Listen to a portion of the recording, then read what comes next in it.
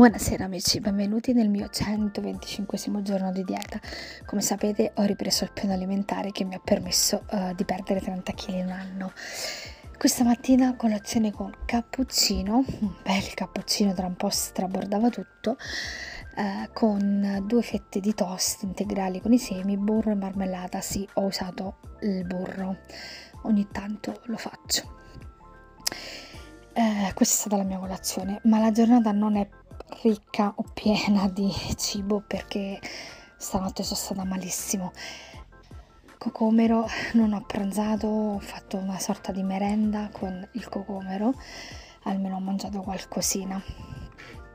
A cena, a parte eh, che mi è esploso il barattolo del ketchup, era alla fine, pensavo che non ce ne fosse più, invece sono andata a strizzare e papapac questo è stato tutto il pasticcio. Questi sono dei toast con un po' di hummus eh, l'uovo e il ketchup.